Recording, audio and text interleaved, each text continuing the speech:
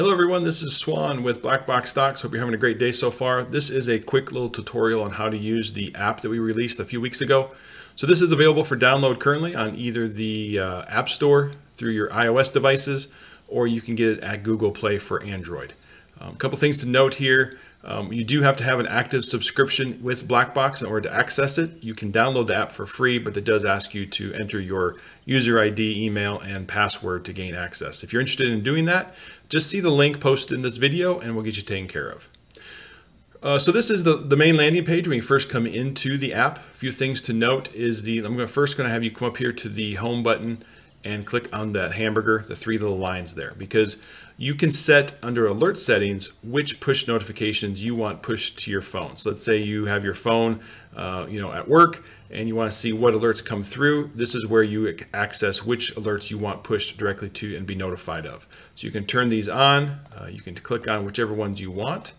And once you do that, the setting is saved and then you will get those alerts and they'll show up as pop-ups and notifications on your home screen and on your phone.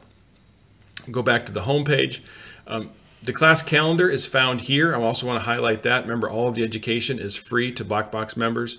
Click on the Learn More button, and it automatically populates the class calendar. At that point, all you do is click on the class you want to take or want more information on, and it will automatically register you, and you'll get an email with that registration and a reminder for that class. Okay?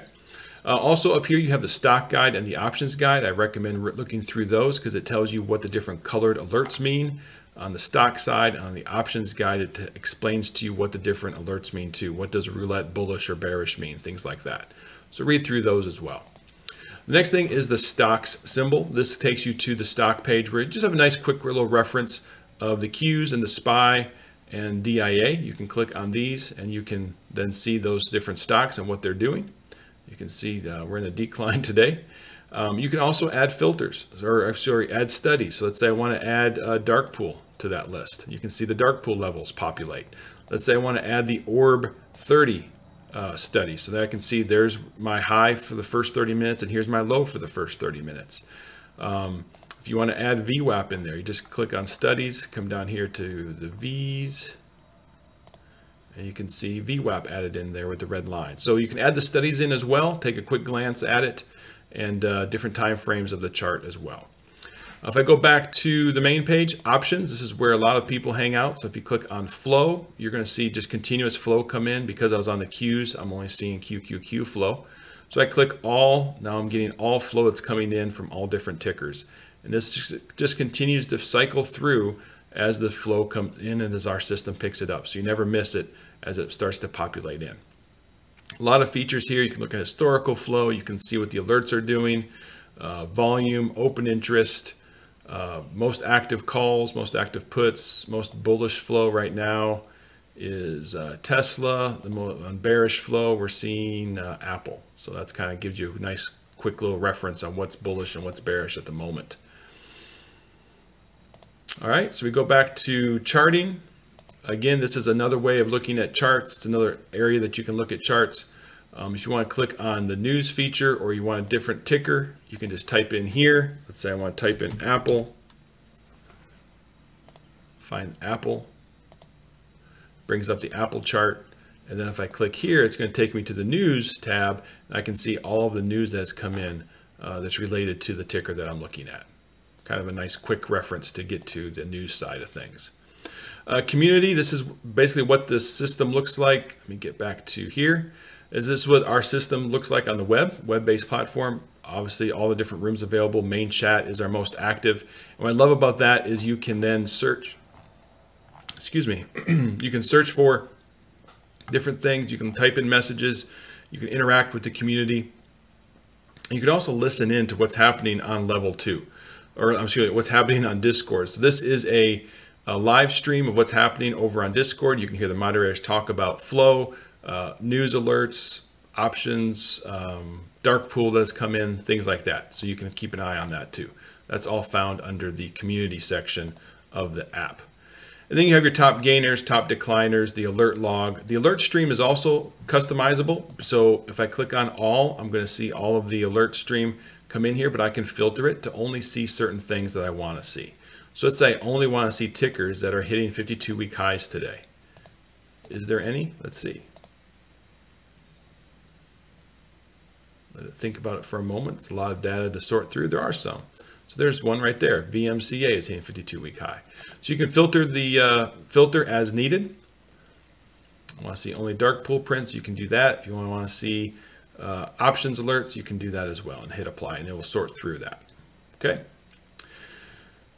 So that's the alert stream. You can look at the pre-market scanner, shows you the top 30 up, top 30 down based off of the close of the day prior. Market scan will show you what's going on currently, top up, top down. So here's all the tickers that are up. Here's the tickers that are down the most.